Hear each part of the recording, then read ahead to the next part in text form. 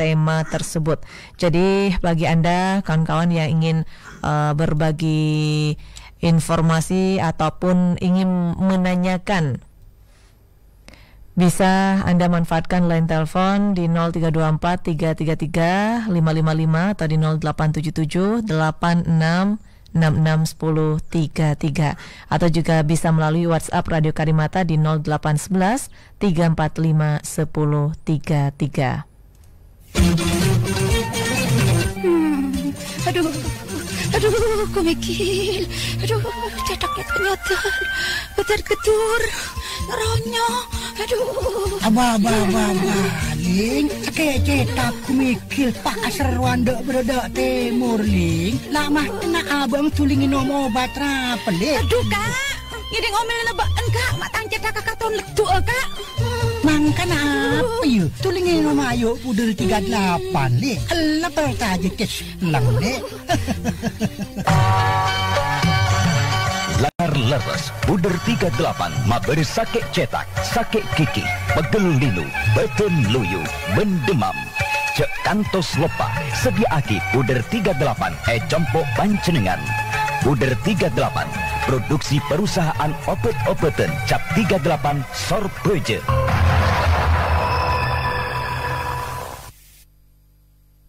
Jas-jas baru makin lengkap rasa buah dunia.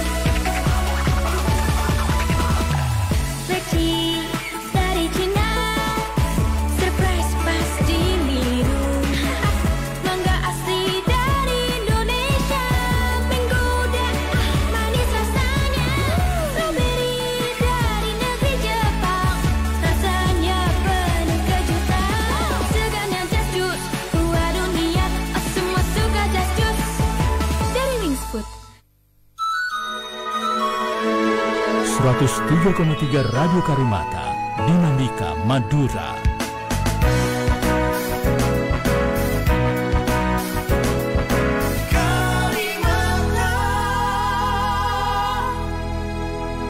Ya kan, saat ini sudah hadir di studio Radio Karimata Ustadz Abdul Syukur yang nanti akan menjelaskan mengenai tema Ramadan uh, sebagai pelajaran dalam menghidupkan dan memakmurkan masjid untuk tema drama hari ini. Tapi terlebih dahulu kita sapa. Selamat sore, Assalamualaikum. Waalaikumsalam warahmatullahi wabarakatuh. Apa kabar Ustadz? Alhamdulillah baik. Alhamdulillah uh, Ustadz untuk tema hari ini yaitu Ramadan sebagai pelajaran dalam menghidupkan dan memakmurkan masjid Ya, betul. Uh, Bisa terlebih dahulu uh, Ustadz uh, memaparkan uh, tema tersebut dulu Pak Ya, bismillahirrahmanirrahim. Alhamdulillahirabbil alamin wassalatu wassalamu ala asyrafil mursalin wa ala alihi wa sahbihi ajma'in. Qala rabbi shrah li sadri wa yassir li amri wa hlul 'uqdatam min lisani yafqahu qawli amma ba'du. Ada kaitan antara bulan Ramadan yakni bulan puasa dengan memakmurkan masjid. Karena ternyata di bulan puasa itu kita dianjurkan untuk banyak beribadah kepada Allah Subhanahu wa taala dan ibadah itu rata-rata kita lakukan di masjid. Kenapa? Karena masjid merupakan tempat terbaik. Maka kalau kita ingin mendapatkan pahala terbaik di sisi Allah Subhanahu wa taala, ibadah-ibadah tersebut terutama ibadah yang wajib kita lakukan di masjid. Apa kaitan antara uh, memakmurkan masjid dengan bulan Ramadan? Di dalam Al-Qur'an Allah Subhanahu wa taala berfirman, "A'udzu billahi minasyaitonir rajim. Bismillahirrahmanirrahim. Innama ya'muru masajidallahi man amana billahi wal yaumil akhir wa aqamas shalah wa ataz zakah wa lam yakhsha illallah." Di sini Allah menyebutkan bahwa orang yang pantas memakmurkan masjid itu adalah orang-orang yang beriman kepada Allah Subhanahu wa taala dan beriman pada hari akhir.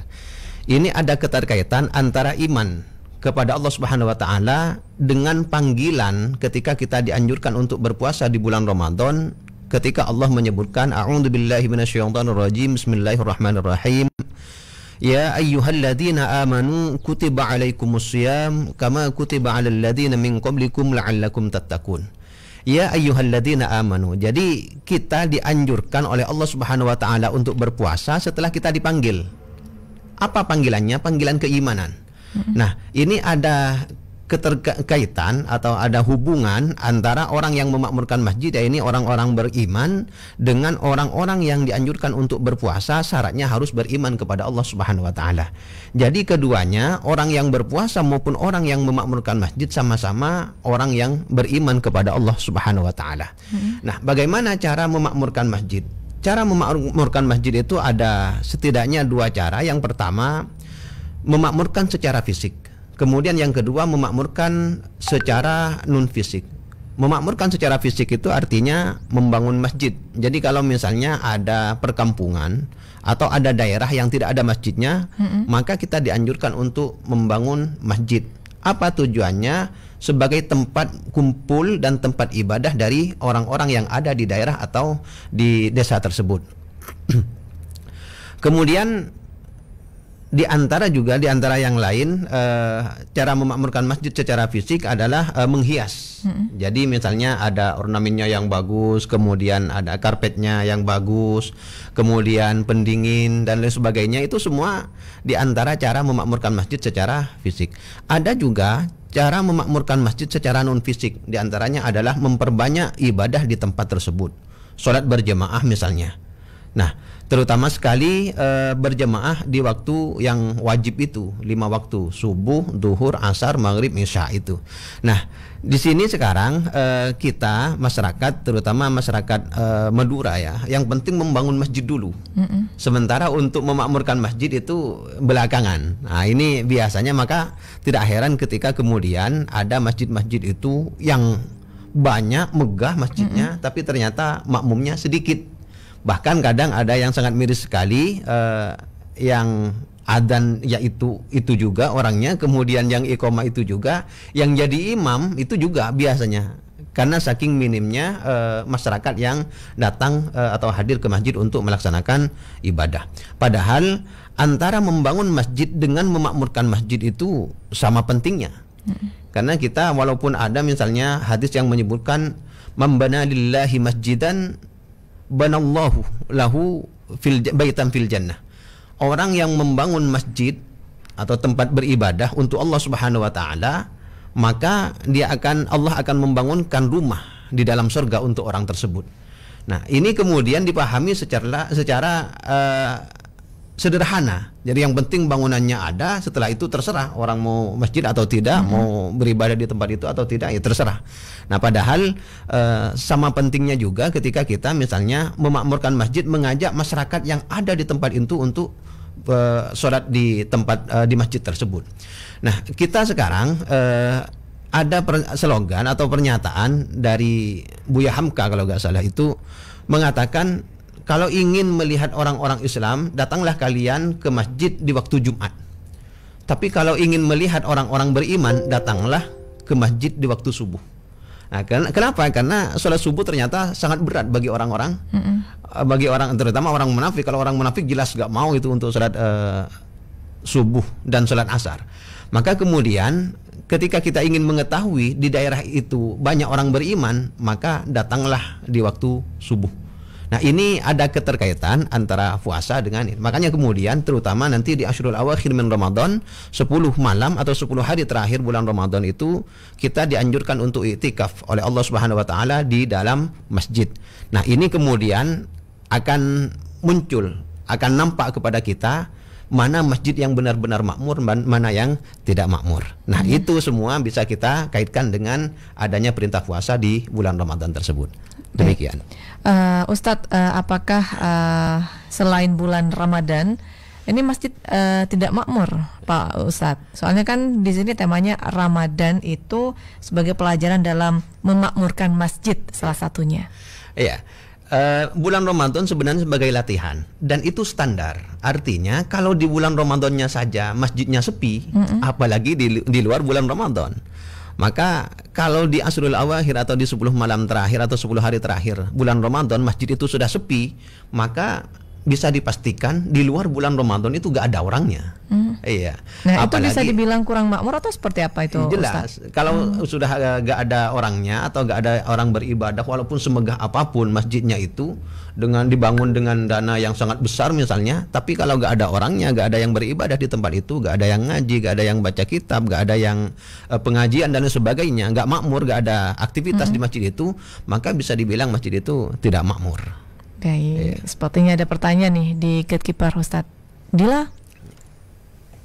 Di WhatsApp ada Pak Usman ya. Assalamualaikum Pak Ustadz. Ini eh, menanyakan memang agak melenceng ya dari tema. Ini menanyakan bagaimana untuk kedudukan sholat witir 2 plus 1 Kenapa eh, bisa eh, lah kok biasanya ini sholat witir dua rakaat sedangkan witir ini sendiri artinya ganjil. Kenapa gak langsung saja tiga rakaat itu yang disampaikan oleh Pak Usman. Selain itu ada Mbak Aisyah juga yang menanyakan untuk maksud dari eh, memak- memakmur ma- memakmurkan masjid ini apakah meramaikan masjid dengan orang-orang yang salat atau memakmurkan masjid yang artinya memperbagus masjid itu yang disampaikan oleh Mbak Aisyah. Sementara untuk kawan karimata yang ingin ngabuburit dengan yang beda dengan yang lain, ini datang saja ke Bazar Emas dan Kuliner Ramadan Pegadaian. Kegiatan ini dilakukan serentak di 61 kota di Indonesia dan untuk di wilayah Madura, Bazar Emas dan Kuliner Masjid Pegadaian ini diadakan di halaman Dinas Koperasi dan UMKM eh, Pamekasan di Jalan Joko Tole nomor 81 Pamekasan. Ngabuburit dijamin seru sambil menunggu buka puasa sambil beli emas. Selain emas batangan ada juga berbagai model perhiasan dan cocok buat persiapan lebaran. Selain bazar juga ada live musik, lomba islami dan jajanan kuliner kolaborasi dengan Pegadaian area Pamekasan dengan UMKM lokal Pamekasan. Pegadaian juga menyediakan jasa cuci perhiasan dan taksir emas gratis. Kegiatan ini dilaksanakan mulai dari tanggal 18 sampai 22 April 2022, mulai jam 1 siang sampai jam 5 sore. Ayo datang ke Bazar Emas dan Kuliner Ramadan di halaman Dinas Koperasi dan UMKM Pamekasan di Jalan Jokotole nomor 81 Pamekasan. Informasi lebih lanjut bisa menghubungi call center Pegadaian di 15500 569 atau bisa buka Instagram at sahabat pegadaian dan at pegadaian underscore ID. Meli. Adila Fari, Gatekeeper. 103,3 Radio Karimata, Dinamika Madura.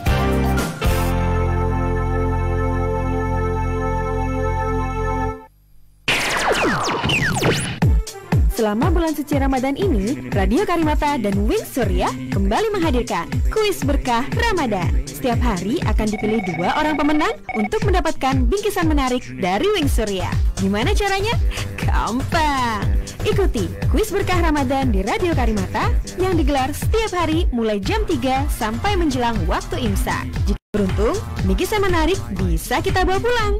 Makanya, ikuti kuis berkah Ramadan setiap hari mulai jam 3 sampai menjelang waktu imsak. Acara ini dipersembahkan oleh Oke siap pak, Eh, saya siapin proposalnya sekarang ya pak. Aduh, anu normal kerjaan tambah banyak. Habis kelarin diskusi sama klien. Ah, Lanjut meeting online terus beresin presentasi. Aduh, bakal lembur lagi. OMG, kolaps nih lama-lama Semangat gak boleh kolaps. Gue bodyguard lo yang baru. Segar dingin SDC 1000 rasa orange. Gue bakal ngejagain daya tahan tubuh kalian dengan triple proteksi. Oh ya? Vitamin C 1000 mg, madu, dan ekstrak mint. Wow, STC 1000 baru nih Gimana cara bikinnya? Gampang, tuang serbuk effervescent SDC 1000 ke dalam segelas air dan es batu, aduk, siap minum. Rasa orange ya, wuhu Bikin baper Semangat kembali, Pol Siap gaspol aktivitas lagi Baru SDC 1000 rasa orange dan jeruk nipis. Bodyguard tubuh biar gak ngedrop dari Wings Food. Udah siap gas lembur lagi kan? Hah? Ayam bakarnya udah belum mas bro? Belum. Sebentar lagi ini biar ngeresep loh. Siap. Jurus kipas. Kalian kenapa sih? Mau nikmatin ayam bakar yang ngeresep aja kok heboh sendiri? Ada Natasha Wilona. Cobain nih inovasi baru dari mie sedap mie goreng rasa ayam bakar limau. Perpaduan rasa sambal cobek dan limau yang seger menyatu dengan rasa ayam bakar di mie yang kenyang. Wah, kuy markicap, mari kita coba. Eits, biar sedapnya makin next level, cobain juga nih rempeyek daun jeruknya. Hmm, hmm, wah iya ya. Minyak kenyal, gurih manis ayam bakarnya ngeresep. Hmm, rempeyek daun jeruknya bener-bener sedap. Lain daripada yang lainnya. Wah, sambal cobek dengan limaunya bikin next level. Wilona, mau lagi dong mie sedap ayam bakar limaunya. Mau lagi? Makanya buruan beli mie sedap ayam bakar limau baru. Sedapnya next level dari Wings Food.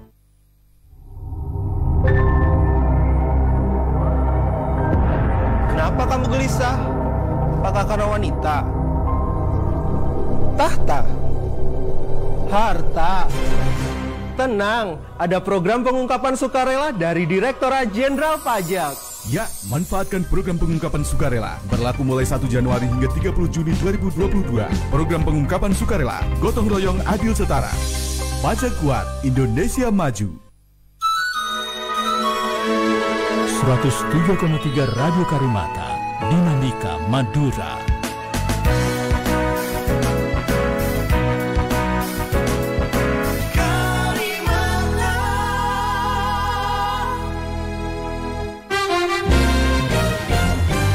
Karimata Sport.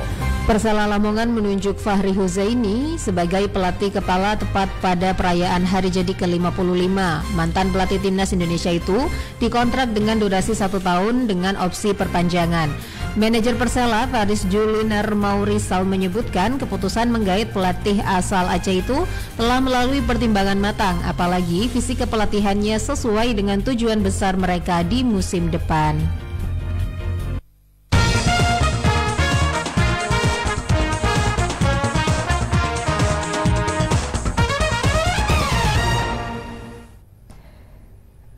Ada Pak Usman di Pademau ini menanyakan melalui WhatsApp di mana kata Pak Usman ini menanyakan kedudukan dari sholat witir 2 plus 1 ini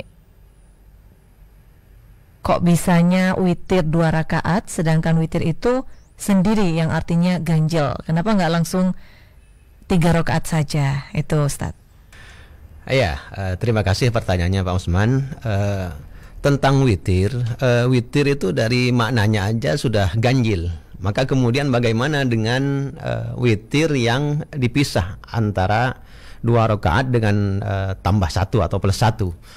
Itu di madhab syafi'i uh, niatnya juga sudah jelas. Jadi ketika ada orang yang memisah witir dua plus satu itu ketika berniat di sholat pertama di dua rakaat pertama itu menyebutkan minal witri bagian dari witir bagian dari yang ganjil. Walaupun kemudian hal ini juga uh, pernah dibahas secara tuntas oleh uh, uh, Gus Baha yang menyebutkan bahwa ya sebenarnya sulit juga untuk melogikakan hal itu. Kenapa? Karena ketika sholat sudah selesai dengan salamnya berarti sholat itu mustakil, sholat itu berdiri sendiri. Maka ketika sudah dua rakaat berarti yang dua itu bukan witir, pasti itu genap bukan bukan witir.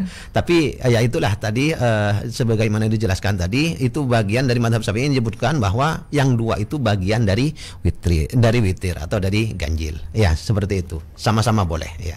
Boleh. Uh, terus ada Mbak Aisyah.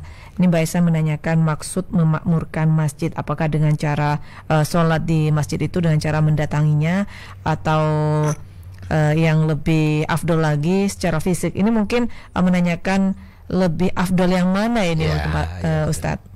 Ya. Jadi memakmurkan masjid itu uh, ada dua. Yang pertama yaitu tadi uh, secara materi, secara fisiknya hmm. bagaimana masjid itu indah sehingga orang betah atau kerasan di masjid itu. Sehingga ketika mereka istirahat siang misalnya lalu sebagainya, ketika sholat, ketika ngaji mereka betah sehingga mereka gak gerah. Kalau gerah mereka kan ingin cepat pulang, hmm. gak gak betah di masjid. Tentunya nah, bersih juga ya Ustaz. Ya harus bersih juga, harum bahkan juga. Hmm. Makanya kemudian ketika kita ke Saudi itu biasanya di Masjidil Haram itu baik yang di Madinah yang di, di Madinah ini biasanya ada bau dupa itu. Jadi uh, kalau di sini kan biasanya bau dupa itu khusus malam Jumat. Enggak, di sana enggak. Itu setiap hari bahkan setiap uh, sholat itu ada harum-harum seperti itu. Nah, ini uh, menunjukkan bahwa memakmurkan secara fisik pun dianjurkan. Ya. Di samping kemudian kita juga harus fokus untuk memakmurkannya secara non fisik, yakni secara memperbanyak ibadah di masjid tersebut. Karena dengan banyaknya ibadah jelas itu akan banyak maghfirah, akan banyak barokah di masjid tersebut. Nah, ini yang menjadi eh, kelemahan kita. Kita lebih banyak bermegah-megahan di fisiknya, tapi kemudian kita eh, lengah dalam memakmurkan masjid secara non fisik. Uh, mestinya kita akan banyak menganjurkan masyarakat untuk datang ke masjid dan beribadah di masjid tersebut. Sebelum Ramadan sekitar dua minggu saya berangkat ke Joko Karyan in, itu untuk belajar bagaimana cara memakmurkan masjid. Mm-hmm. Nah, di antara cara yang mereka gunakan adalah ya mereka mengundang masyarakat itu. Jadi untuk sholat itu mereka diundang se uh, seperti mantenan itu. Hmm. Jadi acara seperti mengundang ada resepsi itu diundang masyarakat itu. Kemudian mereka datang ke masjid dan akhirnya sekarang sholat subuhnya sama dengan sholat Jumat. Mengundang itu mengundang saja apa uh, ada embel-embelnya seperti entah itu diberikan apa gitu Ustaz? Oh iya ada biasanya hadiah misalnya bonus hmm. umroh atau bonus apa itu karena untuk uh, membuat orang termotivasi yeah. atau hmm. tertarik. Dan ini kayaknya di Pemekasan masih uh, belum ada yang yang seperti ini. Hmm. Makanya kemudian uh, Masjid Al-Falah Pemekasan itu sudah mulai sekarang. Yeah. Sudah mau mulai buka 24 jam. Kemudian juga yang ramah uh, musafir. Ramah musafir itu artinya ketika ada orang dari luar daerah datang ke Pemekasan, tidak uh, memiliki penginapan, tidak memiliki family dan hmm. sebagainya, hmm. mereka mau nginap, itu kita akan fasilitasi di tempat tersebut. Nah, kalau masjid sudah seperti itu insya Allah akan makmur. Baik, ke kita dulu. Ica. Ya ada pertanyaan dari Mbak Ana ya di Pakong. Arti atau maksud dari iktikaf di masjid yang sebenarnya ini apa Ustadz? Mohon penjelasannya. Ada juga dari Mas Jaka di, Cok di Cokrat Mojo. Ini mengenai iktikaf juga. Apakah iktikaf ini bisa menjadi salah satu cara untuk kemudian bisa memakmurkan masjid? Dan kegiatan apa yang sebaiknya dilakukan ketika iktikaf Informasi lain kawan Teh Javana ini mengucapkan selamat menunaikan ibadah puasa ya. Semoga puasa kawan Karimata tidak ada yang bolong. Teh Javana hadir dengan dua varian, ada original dan gula batu. Teh Javana merupakan perpaduan dari teh dan gula asli yang menyegarkan. Bisa banget nih untuk menemani buka puasa Anda. Di momen Ramadan ini mungkin Anda ada yang mau mengadakan acara buka bersama keluarga besar atau mungkin dengan teman ya? Atau bahkan mau mengadakan halal bihalal dan open house. Pas banget nih ada program Teh Javana Manisin Momenmu. Dalam program ini Anda bisa mendapatkan diskon sampai 15% Dengan minimal pembelian 10 karton Teh Javana. Jadi jangan lewatkan kesempatan manis ini. Yuk berbagi momen manis Anda dengan Teh Javana. Informasi lebih lanjut Anda bisa bisa menghubungi nomor 0800 1818 atau bisa di 0315 325 005. Bisa juga melalui Instagram at sayap underscore kuat dan Instagram at IG underscore radio karimata. Meli. Ica Rahman, Gatekeeper. 103,3 Radio Karimata, Dinamika Madura.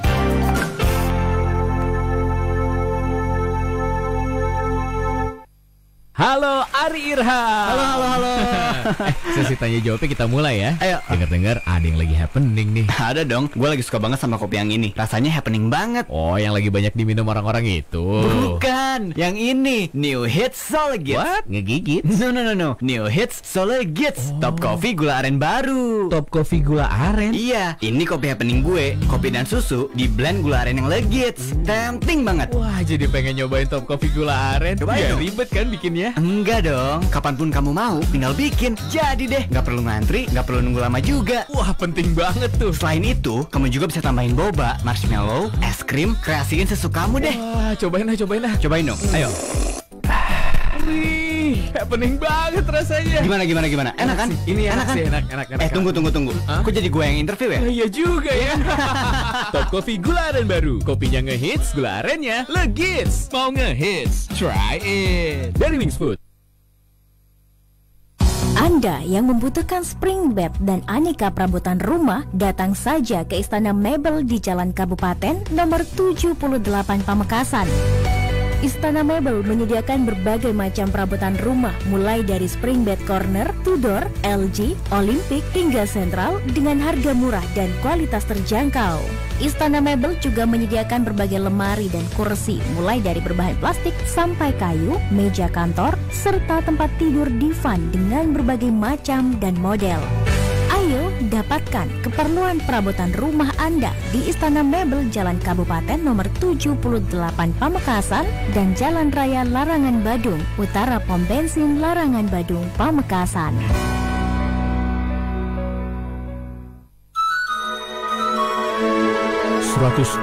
tiga Radio Karimata, Dinamika Madura.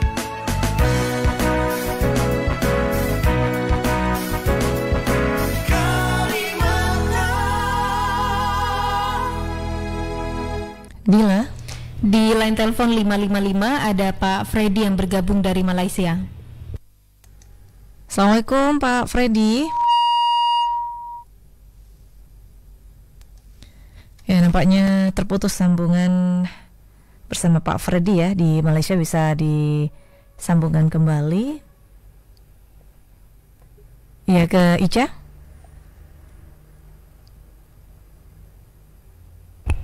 Ada Pak Indra di Kaduara bergabung. Assalamualaikum Pak Indra. Waalaikumsalam warahmatullahi wabarakatuh. Alhamdulillah sehat Pak Indra. Alhamdulillah masih sehat. Mau tanya apa ini Pak Indra mumpung ada Ustadz nih di studio. Oke, ini lagi ini Pak lagi hujan di kawasan Kota Timur nih Pak ya. Oh hujan, uh, iya. Hujan cukup deras ini dan sampai di sini belum belum terda ini. Ini uh, sama dengan Pak Ustadz siapa kalau boleh saya tahu ini Pak? Ustadz Abdul Syukur. Oh, Ustadz Abdul Syukur. Mm-hmm. Oke, Assalamualaikum Pak Ustadz. Assalamualaikum warahmatullahi wabarakatuh Pak Indra. Uh, singkat saja Pak Ustadz ya, saya yang ingin saya tanyakan adalah ini kalau tadi terkait dengan masalah bagaimana kita bisa membawakan uh, masjid dengan meramaikan masjid dengan kita kita yang Islami Pak Pak Ustadz ya. Iya betul betul. Uh, kita sudah tahu bahwa uh, menjelang akhir-akhir bulan Ramadan ini eh, di mana-mana masjid sudah mulai agak maju stopnya Pak Ustadz ya. Iya. yeah. agak maju. Jadi termasuk di Kota Timur sudah sudah seperti itu. yeah. Yang ingin saya yang ingin saya tanyakan Pak Ustadz ini ini sering menjadi momen-momen apa? Momen-momen apa? Momen-momen yang memang sudah biasa di setiap akhir bulan Ramadan di mana pun saja Pak Ustadz. Uh, yang mestinya uh, setiap akhir bulan Ramadan mestinya semakin ramai ke masjid itu Pak Ustadz ya. Iya. Yeah. Kayak yang kita tanyakan adalah apa kiat-kiat kita Pak, Pak Ustadz ya, uh, yang bisa menumbuh kembangkan, menumbuhkan kembali kiat dilihat hasrat kita untuk untuk kembali ke masjid biar lebih ramai Pak Ustadz ya. dalam yeah. bulan-bulan dalam bulan-bulan akhir-akhir bulan Ramadan Pak Ustadz. Yeah. Kiat yang malah kali uh, menjadi apa menjadi apa menjadi geliat kita untuk semakin semangat lagi untuk untuk datang ke masjid Pak Ustaz. Ini barangkali yang bisa saya tanyakan saja sementara. Ya, ya Pak Andra. Oke, okay, Assalamualaikum. Waalaikumsalam warahmatullahi wabarakatuh. Ya, ke gatekeeper. Dila. Ada Pak Freddy yang kembali tersambung. Assalamualaikum Pak Freddy. Waalaikumsalam. Ya, Pak Freddy di Malaysia. Ya dengan Pak siapa ini? Saya Meli, ini Pak Freddy. Pak Freddy mau tanya apa ini? Eh, dengan Mbak Meli. Iya. Kayak bisa disambungkan dengan Ustadz siapa ini? Iya, ini langsung juga ada Pak Ustadz, ada Ustadz Abdul Syukur. Bisa langsung ditanyakan ini. Assalamualaikum Pak Ustadz. Waalaikumsalam Pak Freddy. Oke, pertama saya mengucapkan uh, selamat melaksanakan ibadah puasa yeah. dengan harapan puasa kita diterima di sisi Allah Subhanahu wa taala. Amin. Yang kedua, dikarenakan saya ada di perantauan, namun dulu saya penggemar Karimata, oh. pemberat Karimata dulu. Sekarang Pak Freddy, tetap ya? Iyalah, ini meskipun jauh saya masih gabungan ini. Iya, iya Pak Freddy. Eh, yang saya tanyakan Pak Ustadz begini, Ustaz bilang tadi bahwa saya dengar nama di live streaming FB Kalimata agak tersendat-sendat ini. Saya yang saya yang saya tanyakan adalah kan syarat syaratnya niat ya. Kalau puasa wajib harus tabiyatul niat. Kan itu Ustaz ya. Nah, kalau ada seseorang yang lupa tidak niat istilahnya di waktu malam gimana itu Pak Ustaz? Puasanya tetap sah atau gimana? Iya, iya. Ah, yang terakhir Pak Ustadz karena saya jauh boleh kirim salam meskipun sedikit Pak Ustadz buat teman-teman saya di sana tengah Pak Ustadz. Kalau salam-salam nanti ya Pak di Senandung Rindu. Oh iya iya. Oke kece sekian dulu. Iya Pak Yang Freddy. terakhir semoga Karimata tetap bertempur di udara ya.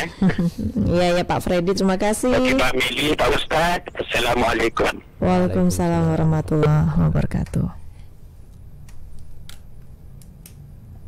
Ya, sebelum dijawab pertanyaan dari Pak Freddy, Pak Indra, ada juga Mbak Ana ya, dan juga ada Mas Jaka. Ini ada empat pertanyaan ya masih belum dijawab. Mungkin eh, untuk Mbak Ana terlebih dahulu ini Ustadz di Pakong yang tanya mengenai arti iktikaf di masjid itu sebenarnya apa?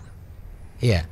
I'tikaf secara umum itu maknanya adalah kita berdiam diri. Jadi Hmm. ketika kita berdiam diri di mana pun, ya itu namanya i'tikaf. Kalau cuma berdiam diri saja Pak Ustadz? Iya, itu sudah cukup diartikan atau dinamai dengan eh, i'tikaf sudah.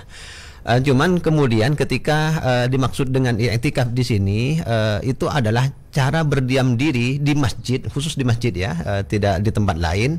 Kemudian juga niatnya untuk beribadah kepada Allah Subhanahu wa taala.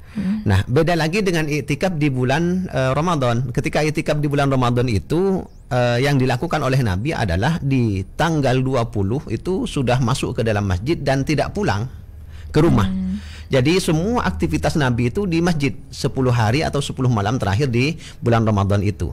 Nah, tapi kemudian eh, i'tikaf ada orang yang mengartikan i'tikaf itu setelah sholat subuh misalnya.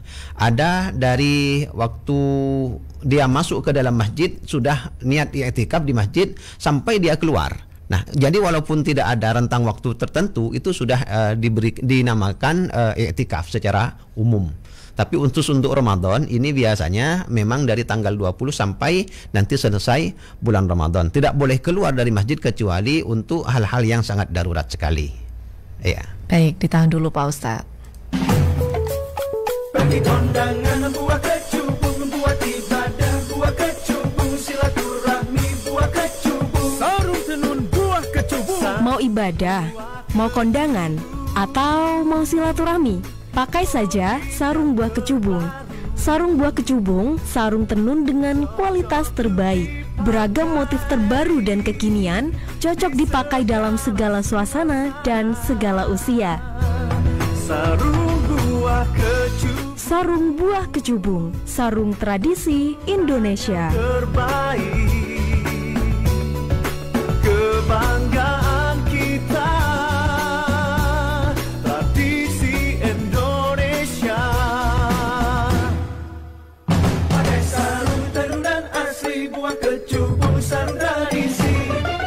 Sarung buah kecubung selalu jadi tradisi dari Nabatex. Hai Jesse, eh hai, rame banget ya di sini. Iya dong, semua orang kan suka sama dessert party. Jadi pengen cobain semua dessert di sini deh. Coba cupcake ini ah. Hmm, ini manis dan lembut ya. Tapi wangi lo kok sama kayak cupcake ini sih? Gua pakai spray cologne dari Fresh and Natural. Emang ada wangi baru ya? Yap, ini wangi dessert collection dari Fresh and Natural. Spray cologne pink cupcake yang wanginya so sweet and cheerful. Perpaduan vanilla dan juicy fruits. Dan ada juga wangi berry macaron, perpaduan vanilla dan mixed berries. Wow, so sweet banget. Oh iya, ada body washnya juga loh. Vitamin E-nya bikin kulit jadi lembab dan halus. Mandi makin fresh dan sweetnya seharian. Karena busanya so fluffy. Mau dong wangi sweet dessert collectionnya? Lo wajib coba ya. Karena ini match banget buat kita-kita yang suka tampil all out. Indulge yourself with fresh and natural dessert collection. Be sweet, be you.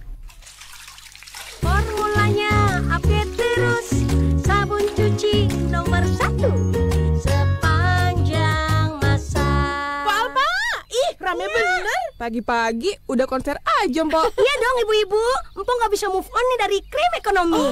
Apalagi sekarang Empok makin lope sama varian barunya krim ekonomi siwa dengan formula antibakterial alami yang efektif usir kuman untuk semua cucian. Eh, Pok, pakainya boros nggak? Cukup secolek kuman minggat, piring pun langsung kesat. Bu ibu, coba nih cium wanginya. Wah, seger. Wangi jeruk nipis. Pokoknya aku mau coba krim ekonomi siwa. Aku juga. Yuk, kita konser bareng. Cucian pasti beres, wajib pakai krim ekonomi.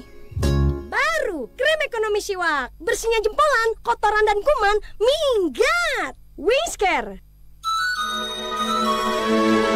103,3 Radio Karimata, Dinamika Madura.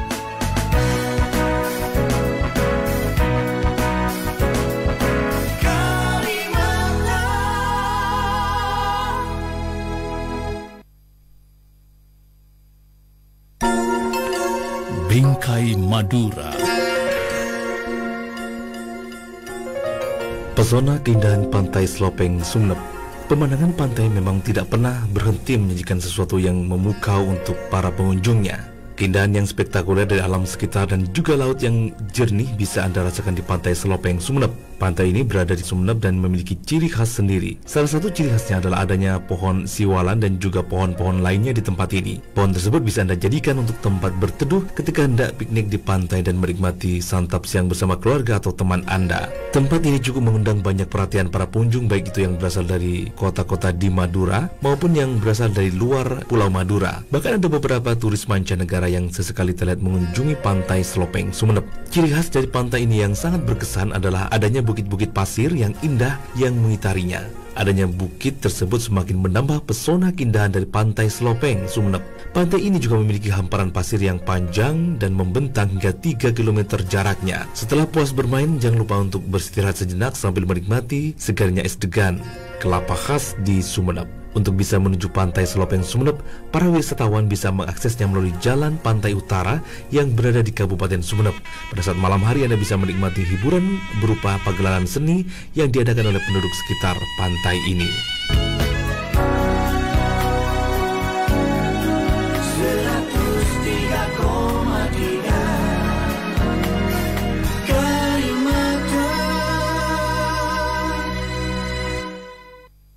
Baru saja kita simak Bingkai Madura dipersembahkan oleh Anda yang membutuhkan spring bed dan aneka perabotan rumah, datang saja ke Istana Mebel di Jalan Kabupaten nomor 78 Pamekasan. Istana Mebel menyediakan berbagai macam perabotan rumah mulai dari spring bed corner, Tudor, LG, Olympic hingga sentral dengan harga murah dan kualitas terjangkau. Istana Mebel juga menyediakan berbagai lemari dan kursi mulai dari berbahan plastik sampai kayu, meja kantor, serta tempat tidur divan dengan berbagai macam dan model. Dapatkan keperluan perabotan rumah Anda di Istana Mebel Jalan Kabupaten nomor 78 Pamekasan dan Jalan Raya Larangan Badung, Utara Pom Bensin Larangan Badung, Pamekasan.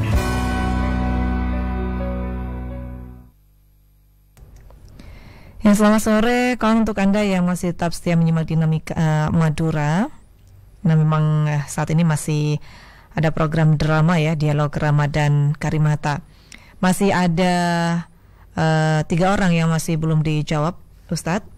Tadi ada Mas Jaka di daerah Cokro Atmojo yang tanya apakah iktikaf ini adalah salah satu cara memakmurkan masjid dan kegiatan apa saja yang dilakukan saat iktikaf. Iya, iktikaf uh, merupakan bagian dari cara memakmurkan masjid, masjid Allah, yakni rumah-rumah Allah. Nah, uh, Iya, ketika kita itikaf itu ada beberapa ibadah yang bisa kita lakukan di antaranya adalah zikir, yakni subhanallah, alhamdulillah, la ilaha illallah dan sebagainya itu dengan berbagai jenisnya itu. Kemudian eh, bisa juga membaca Al-Qur'an, bisa sholat, bahkan bisa juga bakti sosial. Jadi eh, ketika kita beritikaf bukan hanya kita eh, ibadah mahdoh kepada Allah Subhanahu wa taala, tapi juga kita bisa memperkuat hablum minan nas sesama manusia di antaranya adalah saling silaturahmi di dalam masjid itu. Yang penting kita tidak boleh eh, terlalu banyak berbicara tentang hal-hal duniawi di dalam masjid, tapi lebih banyak ke ibadah fokus kepada Allah Subhanahu wa taala, yaitu cara iktikaf di masjid. Baik, eh, kemudian ada Pak Indra di Kaduara. Ini oh tanya karena semakin ke belakang, ini softnya semakin ke, ke depan malah ini Semakin Ustadz. maju ya? Iya, semakin maju. Nah, kiat-kiat apa yang bisa menggeliatkan kembali para jemaah untuk bisa ke masjid?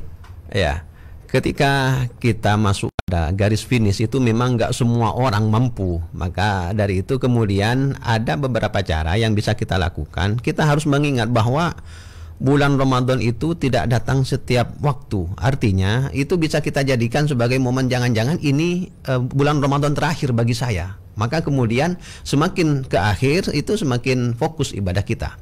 Kemudian yang kedua eh, di bulan Ramadan terutama di akhir Ramadan itu ada istilahnya Lailatul Qadar.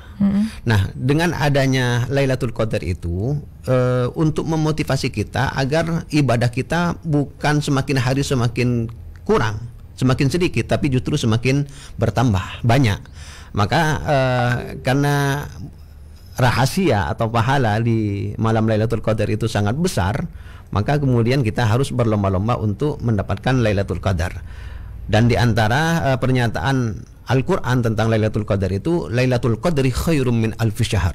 Bahwa Lailatul Qadar itu pahalanya lebih besar atau lebih banyak daripada eh, ibadah selama seribu bulan. Seribu bulan itu sama dengan 83 tahun 4 eh, empat bulan. Artinya sama dengan seumuran hidup umat Nabi Muhammad SAW. Jadi makanya kita di akhir Ramadan itu justru semakin menambah ibadah kita karena kita eh, berharap kita mendapatkan Lailatul Qadar tersebut. Baik, sebelum jawab punya pertanyaan dari Pak Freddy ya. Iya. Uh, terlebih dahulu ke Gatekeeper karena ada informasi. Quick News. Dinas Pertanian dan Ketahanan Pangan atau Disperta KP Kabupaten Sampang angkat bicara atas kasus penyelundupan pupuk di wilayah kerjanya. Kasus tersebut digagalkan pihak kepolisian setempat pada pekan kemarin hingga berhasil mengamankan 17 ton pupuk bersubsidi jenis ZA dan NPK. Sesuai dari pendalaman pihak kepolisian, belasan ton pupuk tersebut didapat dari salah satu kios yang ada di Kabupaten di Kecamatan Karangpenang Sampang dan sebagian dari Kabupaten Pamekasan. 103,3 Radio Karimata, Dinamika Madura. Quick News dipersembahkan oleh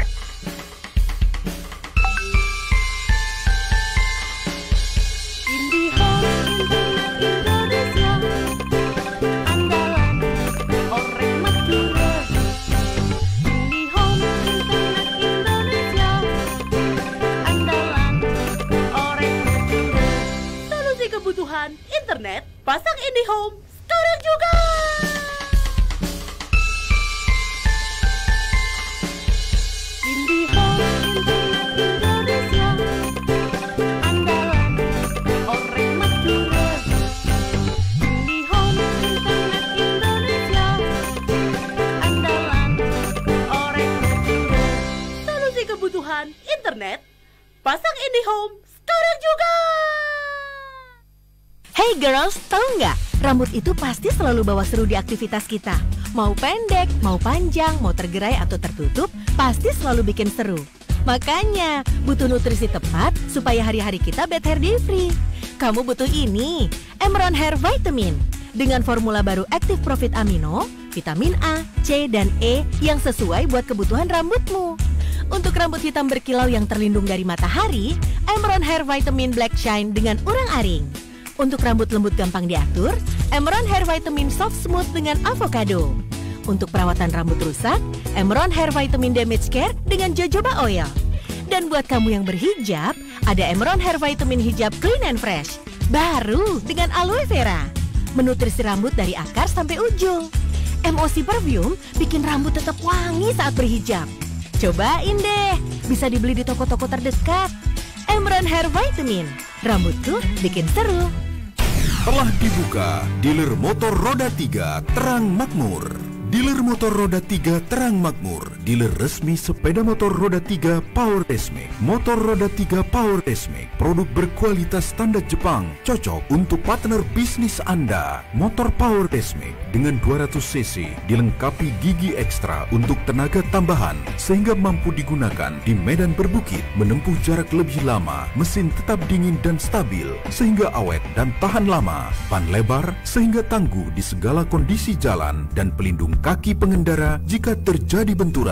Anda juga bisa pesan model bak sesuai keinginan Anda. Hanya dengan DP 1 jutaan, Anda sudah bisa membawa pulang Power Desmic. Dealer motor roda 3 Terang Makmur melayani pembelian tunai dan kredit melalui Adira Finance pembelian instansi dengan e-katalog dan menyediakan semua spare part motor roda 3. Dapatkan motor roda 3 Power Ismic hanya di dealer Terang Makmur, Jalan Bonorogo, Ruko Bonorogo Regensi Pamekasan atau depan Depo Arsip Pamekasan.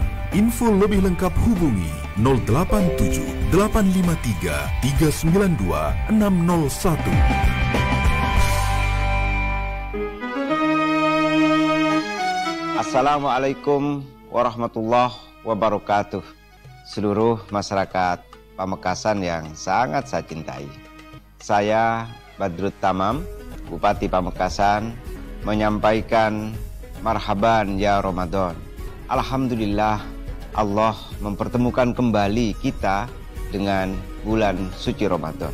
Mudah-mudahan Allah Subhanahu wa taala senantiasa memberikan kemudahan kita dalam beribadah, menyehatkan badan kita dalam melaksanakan bulan Ramadan serta menjadikan seluruh ibadah kita semua di bulan Ramadan diterima oleh Allah Subhanahu wa taala dan membuat kita semua memiliki kesalehan sosial, kepekaan sosial tidak hanya sedang di bulan Ramadan. Tetapi setelah bulan Ramadan kita akan semakin menjadi hamba yang soleh, hamba yang senantiasa berbuat baik untuk kebaikan dan kemaslahatan bangsa, agama dan negara. Mudah-mudahan taraweh kita, ngaji kita, serta seluruh kegiatan ibadah kita memiliki manfaat besar untuk kehidupan kita semua. Terima kasih. Wassalamualaikum warahmatullahi wabarakatuh.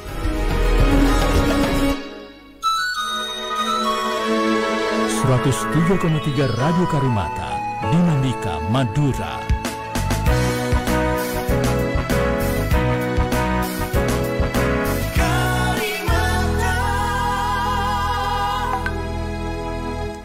Pertanyaan terakhir Ustadz dari Pak Freddy di Malaysia yang tanya gimana kalau uh, lupa niat berpuasa?